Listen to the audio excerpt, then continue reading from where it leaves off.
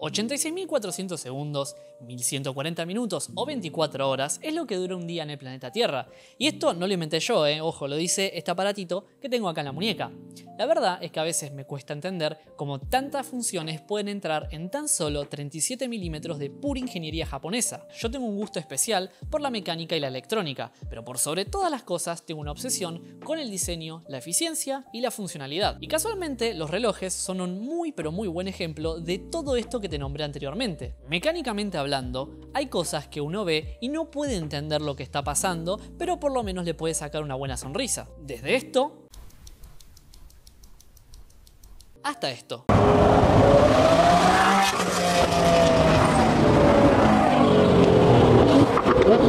Pero cuando lo vemos desde un punto de vista histórico, ponete a pensar lo siguiente. ¿Por qué contamos el tiempo como lo contamos? ¿Cómo se ubicaban los piratas en un mapa? ¿Por qué Suiza es la cuna de la relojería? Para todas estas preguntas, afortunadamente existe una respuesta, pero no puedo evitar ponerme triste sabiendo la importancia histórica que existe detrás de estos relojes y que hoy en día simplemente han sido reducidos a un artículo de moda prácticamente. Y sí, yo sé que es una declaración polémica lo que acabo de hacer, pero si no, no estaría haciendo este video. Entonces paso a hacerte la pregunta que da título a este video.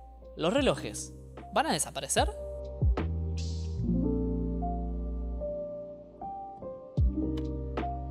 Indefectiblemente íbamos a tener que ver historia, así que agárrate porque tenemos un largo camino por delante. ¿Te acordás lo que había dicho de la duración de un día al principio del video? Si vos sumás una X cantidad de días, llegas a un mes, y con una X cantidad de meses, llegas a un año. Por lo general, un mes tiene entre 30 y 31 días, salvo por supuesto que te toque febrero, pero acá no hablamos de meses que tengan menos de 30 días. Si sumás 12 meses, ¿qué te cuento? Que eso te termina dando un año. Bueno, los romanos se pasaron por las pelotas todo esto, y para ellos solamente existían 304 días. Arreglate. Que encima como si fuera poco, estaban distribuidos en 10 meses y cada cierto tiempo agregaban un mes más para compensar el desajuste temporal. Los egipcios también tenían otra manera de medir el tiempo y se basaban en calendarios solares. Los tipos literalmente usaban el movimiento del sol como un valor de medición del tiempo. Los aztecas también medían el tiempo de otra forma y de hecho muchas veces que hablamos del supuesto fin del mundo es por culpa de ellos y los calendarios faloperos que tenían. Básicamente todos los pueblos antiguos tenían una manera de medir el tiempo en base a lo que ellos creían. Por algo existe por ejemplo el año nuevo chino, el año nuevo judío, el año nuevo budista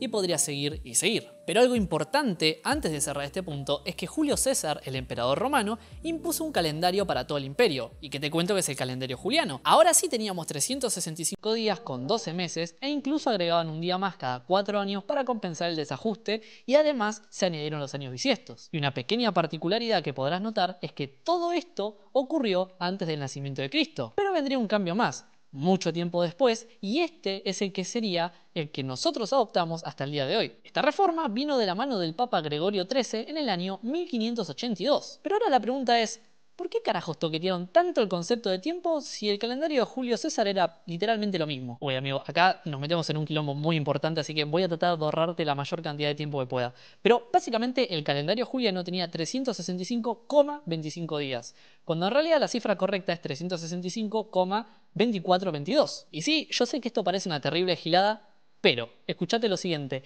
Esto generaba un desfasaje de 11 minutos por año pero lo interesante es que si vos te pones a pensar que ya venían contando mal desde hace 1257 años, el error que generaba era enorme. Igual te dejo el link abajo para que leas la historia completa porque es realmente interesante. Viene acompañado de muchísimo contexto histórico, acuerdos, pascuas, en fin, es una locura. Bueno, ese modelo que nosotros aceptamos como válido hoy en día se lo conoce como el calendario gregoriano, en honor, claro está, al Papa Gregorio XIII. Se hizo muy popular porque fue adoptado por la mayoría del mundo civilizado en aquel momento y pocos años después por diversos países. Y dato de color, el último país en aceptar este modelo, escucha bien, fue Turquía en el año 1926.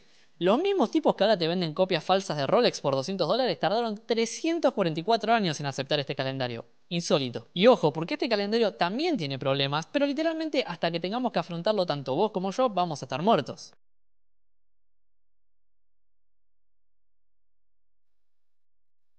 La verdad es que es interesante el concepto de reloj como tal, porque este fue mutando con el paso de los años. Por ejemplo, antes medían el tiempo con relojes de arena, agua o fuego, y sí, literalmente hacían relojes con cualquier cosa. Pero me tomo la libertad de pegarme un salto temporal bastante importante para empezar a hablarte de los relojes mecánicos. Porque por fin ya dejaríamos de depender de cosas tan imprecisas como lo eran todos los que te comenté antes. Y ahora podríamos por fin empezar a ver cómo la física entraba en acción. Claro está, en un principio estaban relegados a piezas de joyería ya que conllevaban un laburo manual muy alto y además era muy común encontrarnos con modelos grabados, cincelados, esmaltados, con piedras preciosas y otros tantos materiales muy pero muy caros. Y te digo más, fíjate que en muchas plazas o iglesias solía haber un reloj enorme, y esto es para que los ciudadanos que no podían acceder a un reloj personal puedan ver la hora de alguna manera. Pero gracias a la miniaturización de los mecanismos comenzamos a ver formas muy parecidas a los relojes de bolsillo como los conocemos hoy en día. Esto se lo debemos a un alemán llamado Peter Heining que sustituyó el motor de pesa con la invención del muelle real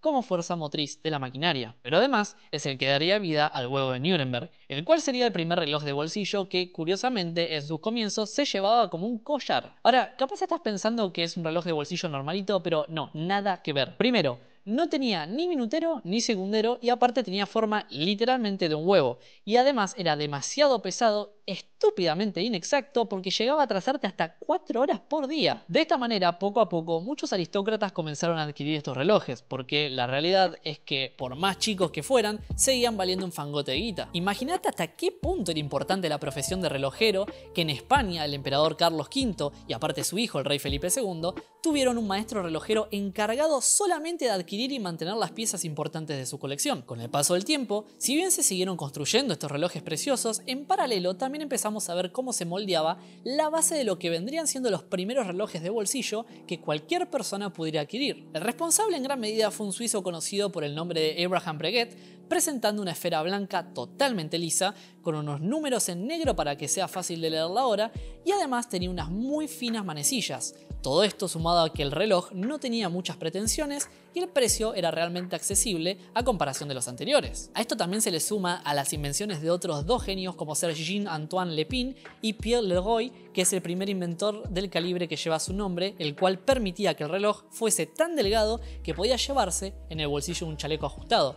Y el segundo es el inventor del escape de retención, el volante compensado y el espiral isocrónico, tres inventos que incrementarían la precisión de los relojes abruptamente. Al calor de la revolución industrial se consolidaron cada vez más casas relojeras a lo largo y a lo ancho del mundo, pero principalmente en Europa, seamos sinceros. Hacer un reloj ya no sería una tarea manual y laboriosa, ya que ahora se podrían construir relojes en tiempo récord y abastecer a la mayor cantidad de personas que quisieran saber la hora. Los años pasaron y la recepción por parte del público general fue incrementando considerablemente. Cada vez era más común ver a cualquier ciudadano en posesión de un reloj. Para echar más leña al fuego, entramos en el periodo de la segunda revolución industrial y nuevamente más y mejores mecanismos para estos relojes eran producidos a diario. Se establecieron más casas relojeras y algunas de estas ya tenían el objetivo fijado en hacer el reloj más accesible del mercado. Todo iba viento en popa hasta que en 1914 un chofer dobló donde no tenía que doblar y el mundo afrontaría consecuencias nunca antes vistas.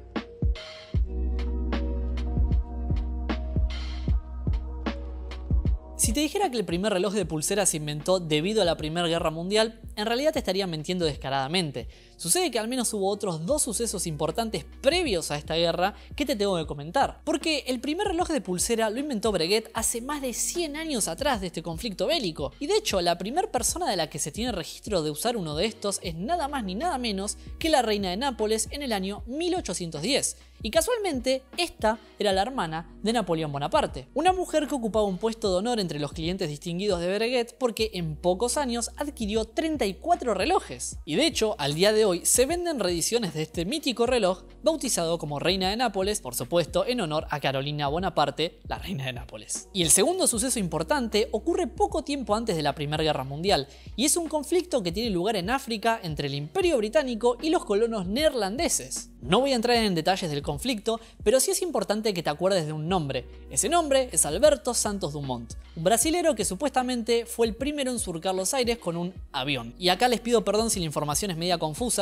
porque muchos piensan que en realidad los primeros en volar fueron los hermanos Wright, pero técnicamente esto es incorrecto. Y lo loco no es que solo Santos Dumont proclamaba ser el primero, sino que hay mucha de gente más, así que te dejo un artículo en la descripción por si te interesa. El problema que veía Dumont con los relojes de bolsillo es que estos eran imprácticos al momento de consultar la hora mientras pilotabas. Es por esto que acudió a Cartier y estos tomaron cartas en el asunto, creando, entre comillas, el primer reloj de pulsera, y lo bautizaron como Santos en honor, por supuesto, al señor Dumont. Pero ahora sí, volviendo a la Primera Guerra Mundial, si tuviera que remarcar un solo aspecto positivo de la misma, podría decirse que siempre se crea una necesidad para tener mejores chances frente al enemigo. Pudimos ver muchísimos avances tecnológicos en diversas áreas, pero uno en el que me quiero centrar es por supuesto en el reloj. Porque en este periodo comenzaríamos a ver la necesidad de los soldados en conocer la hora. El problema estaba en que los relojes que tenía la gente en esa época eran sencillamente de bolsillo. Siendo estos poco prácticos a la hora de usarse en batalla, se pusieron a pensar y dijeron, banca, ¿Y si lo ponemos en la muñeca? Porque, a ver, ponete a pensar, es cómodo cuando uno lo lleva puesto y además es fácil consultar la hora. Bajamos el brazo cuando no lo necesitamos, pero está disponible de inmediato cuando queremos consultar la hora. Y acá fue cuando muchos fabricantes se pusieron manos a la obra para ofrecer pequeños kits de conversión que principalmente se basaban en remover la tapa del reloj y adjuntarle una correa de cuero que permitía al portador usar el mismo en la muñeca. Pero el problema es que las piezas de relojería en ese momento eran demasiado frágiles y muy propensas a funcionar mal por las condiciones a las que eran sometidas. Pero aparte se complicaba poder leer la hora en condiciones de baja porque la cara del reloj no contaba con ningún tipo de mecanismo que le permitiera brillar en la oscuridad. Uno de los primeros avances que se hicieron, y de hecho me atrevería a decir que el más importante en cuestión de incorporaciones al reloj, fueron las asas en la carcasa del mismo. Esto lo que permitía es poder adjuntarle una correa al reloj, y de esta manera los que eran de bolsillo quedarían nuevamente relegados a la vida civil, porque acá empezaríamos a ver nuevos y mejores relojes con un enfoque mucho más militar. Pero en los primeros años del conflicto seguiríamos viendo muchas adaptaciones que se le hacían a estos relojes de bolsillo, principalmente porque el vidrio era tan frágil que al salir o entrar de una trinchera era muy propenso a romperse. Entonces salieron con la idea de agarrar y ponerles unas guardas arriba del vidrio que tenían. De esta manera dimos paso a materiales nuevos. Lo mismo también sucedió con las terminaciones. Ya no buscábamos algo elegante o muy complejo cuando por ejemplo el acero cepillado no solía rayarse tanto y aparte podía ser mucho más resistente. Algo parecido ocurrió con las correas de los relojes, ya que si bien se utilizaba cuero, en aquellas piezas que eran destinadas para uso militar simplemente no duraban mucho y eran más caras, entonces ahí surgió su contraparte de polipropileno. Increíblemente, la Primera Guerra Mundial llegó a su fin cuatro años después, dejando en el tintero muchos avances que podrían haberse hecho sobre los relojes, pero marcaría un precedente para todos los avances que veríamos en los años siguientes.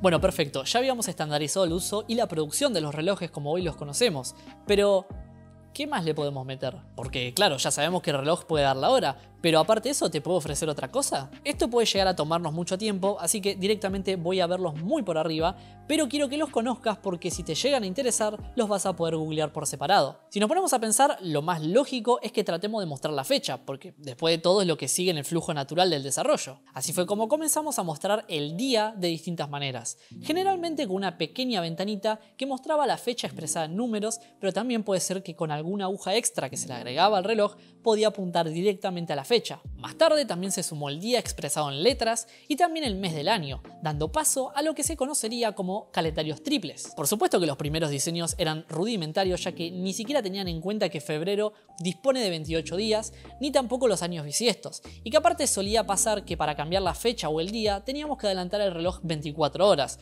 lo cual ya de por sí es bastante tedioso. Acordate que en ese momento había que darle cuerda al reloj, así que si te olvidabas de darle cuerda, fuiste. Posteriormente esto fue solucionado con la incorporación de los calendarios perpetuos, los cuales tomaban en cuenta justamente esto último y adicionalmente al mecanismo del reloj se le agregó un rotor interno que a medida que nosotros movíamos la muñeca se iba dando cuerda solo. Es más, algunos relojes comenzaron a incorporar un pequeño dial que mostraba cuánta energía le quedaba al reloj. También comenzamos a ver las fases lunares expresadas en alguna parte del dial y a partir de acá te diría que todas las funciones que comenzaron a incorporarse apelaban a distintos tipos de público. Por ejemplo, teníamos los cronógrafos que eran literalmente un cronómetro incorporado de alguna manera en el reloj, algunos utilizando el segundero y otros con alguna aguja dedicada para esta función una subesfera dentro de la cara del mismo. De hecho, con la misma filosofía, también se incorpora una función que no venía en el mecanismo interno, sino más bien en el bisel, que es la parte redonda que viene en la caja. Estoy hablando de los taquímetros, una invención que nos permitía calcular aproximadamente la velocidad promedio a la que un objeto se mueve. Puede ser cuánto tarda un objeto en caer, una persona corriendo,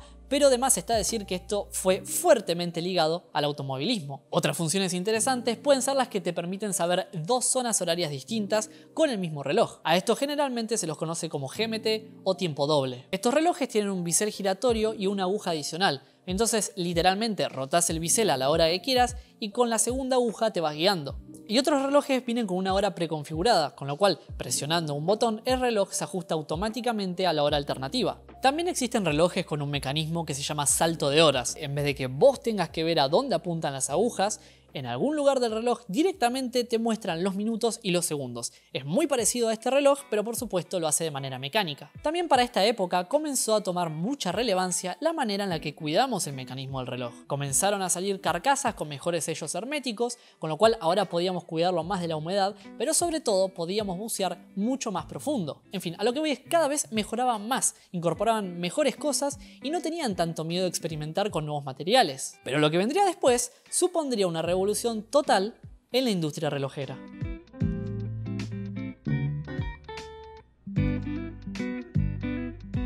¿Qué es el cuarzo?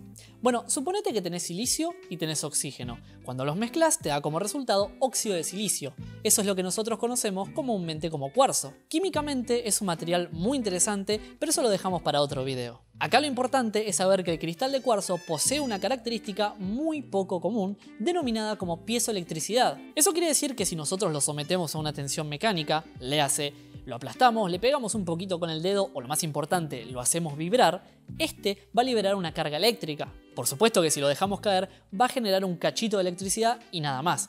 Pero si nosotros lo sometemos de manera constante, también va a generar una tensión constante. Y puede parecer algo estúpido lo que te estoy contando, porque vos imagínate si yo tendría que estar apretando un reloj constantemente para que funcione, lo primero que hago es agarrar y lo tiro por la ventana a ver qué pasa. Por suerte los materiales piezoeléctricos también funcionan a la inversa. Si yo les doy tensión eléctrica, estos van a deformarse. Y es precisamente eso, señoras y señores, el principio fundamental por el cual un reloj de cuarzo funciona. El tema es el siguiente, como ya te dije antes, si vos a un cristal de cuarzo le pegás con el dedo, va a empezar a vibrar y naturalmente si no lo toco, en algún momento va a parar. Bueno, en ese interín entre que empezó a vibrar y se detuvo, generó electricidad. Pero acá está lo interesante. ¿Te acordás que te dije que si vos a un cristal le dabas electricidad, podías hacerlo vibrar? Bueno, si yo agarro la electricidad que me dio ese cristal en el momento en el que le pegué, la amplifico y se la vuelvo a inyectar al mismo cristal, en teoría nunca dejaría de vibrar. Ahora la pregunta es, ¿Cuánto tengo que hacerlo vibrar para que funcione? Bueno, la frecuencia de cristal, es decir, cuántas veces vibra por segundo, tiene que ser específicamente de 32.768 Hz. Y esto tiene un porqué, no es que alguien se levantó de mal humor y le pintó poner ese número. Resulta que los números binarios son solamente dos, un 1 o un 0. Y una cosa más, en el sistema decimal que usamos siempre, cuando hablamos de potencia tomamos como base el 10, pero en el sistema binario usamos el 2. Con lo cual siempre va a ser 2 elevado a la n. Estos números te pueden sonar muy parecidos si estás más que nada relacionado al área de la computación, porque los números que te van a dar son los siguientes. 2, 4, 8, 16, 32, 64, 128, 256, 512, 1024, 2048, 4096, 8192, 16324 y que te cuento que el número que sigue es el 32768. Esto por supuesto sigue, pero vamos a quedarnos con ese numerito. Resulta que el espectro audible para una persona va desde los 20 hasta los 20.000 Hz, con lo cual cualquier cristal de cuarzo que resuene a esa frecuencia lo vamos a poder escuchar. Por eso justamente nos fuimos a ese número tan específico, porque es el único que le sigue al 16.384, el cual podría oírse. Y te tiene un dato de color, los perros pueden escuchar hasta 65.000 Hz, con lo cual ellos podrían oírlo. Con el paso de los años, se inventó el famoso reloj atómico, basado en el reloj de cuarzo, pero que adicionalmente tiene cesio, un elemento atómico que le permite comparar la frecuencia del reloj y en caso de que ésta baje, la puede restablecer, haciendo que jamás pierda la hora. Eso que te acabo de decir es algo súper simplificado, así que te recomiendo que te fijes bien en internet porque de esto se desprende la hora internacional, por ejemplo. Pero volviendo a los relojes de cuarzo, en los años 70 estos comenzaron a hacerse masivamente populares por muchísimas razones. Primero que nada porque tenían muy pocas partes móviles y por ende prácticamente no había que darles mantenimiento, con lo cual era menos laborioso fabricarlos, lo que conlleva que podías hacer más relojes en el mismo tiempo, que también a su vez conlleva que termine resultando en que podías automatizar el proceso y fabricar miles en cuestión de horas. Pero si vamos al dato más importante, es que la precisión con la que contaban era increíble. A lo mejor atrasaban unos pocos segundos por mes, cuando los relojes mecánicos podían llegar a atrasar minutos. Esto creo que está de más decirlo, pero en el mundo de la relojería generó una crisis increíble. Porque por un lado, las empresas como Seiko, Casio o Citizen comenzaron a producir masivamente estos relojes y entraron a robar una cuota importantísima del mercado que estos fabricantes venían amasando hace años. Aparte, ponete a pensar que siempre se habló de Suiza, Francia o Alemania como potencias relojeras, pero ahora Asia los estaba pasando por arriba con precios mucho más accesibles, diversas opciones, porque sí, también empezamos a ver la aparición de pantallas LCD, como en este reloj. De hecho, llegando al año 89, sale a la venta el Casio F91W, y no, no es el mismo que este, este de hecho tiene una luz que sí funciona, pero estéticamente y de hecho de manera interna son demasiado parecidos. Este reloj me parece sumamente importante, primero por el precio, que es muy bajo, es más, si llegas a tener algún problema con el reloj directamente lo tirás y te compras otro, pero por sobre todas las cosas, la cantidad de funciones en un paquete tan chiquito es increíble. Cronógrafo con tiempo neto y partido, sonido por cada hora, alarma diaria, calendario automático, día y fecha, resistencia al agua y una lucecita que, bueno, sí, da pena, pero que por lo menos te deja leer la hora en condiciones de baja luz. Y por sobre todo eso, solamente pesa 21 gramos. Este reloj lo usó gente como Barack Obama, pero también aquel famoso yihadista saudí. Y te digo más, es tan barato que lo usaban como mecanismo para poder hacer explotar cosas. Pero eso lo vamos a dejar para otro video.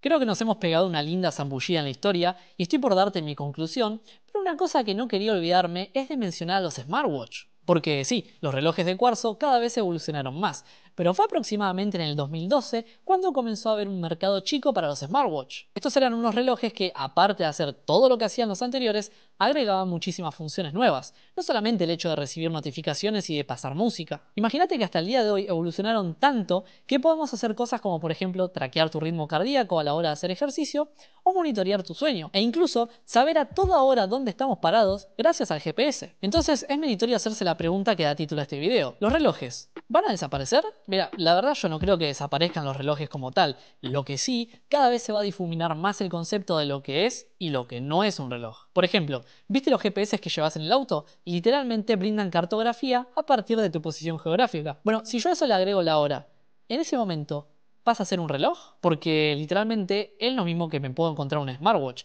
y este sigue siendo un reloj. Claro está, el GPS como tal no fue diseñado para ser llevado en la muñeca, pero se entiende la idea. Por otro lado también, hoy en día todo el mundo tiene un celular, y para muchos tener un reloj en la muñeca pasa a ser algo meramente estético, porque si quieren saber la hora, directamente lo consultan en el teléfono. Por otro lado, existen unas reglas sobre la vestimenta si se quiere, porque por ejemplo, vos no vas a ir a una entrevista de trabajo bien vestido y todo perfumadito, pero a tu vez te vas a calzar en la muñeca un reloj que sea muy reta, muy trucho o remil falopero. Y por último, todo pasa a ser una cuestión de gustos, porque reconozco ampliamente que los smartwatch son aquellos relojes que te entregan la mayor cantidad de funcionalidad, pero a su vez veo un Rolex Datejust y no dudo dos segundos en ponérmelo en la muñeca. De cualquier manera, solamente el tiempo dirá qué va a pasar con estos relojes. Por mi parte, me despido y nos estamos viendo en el próximo video.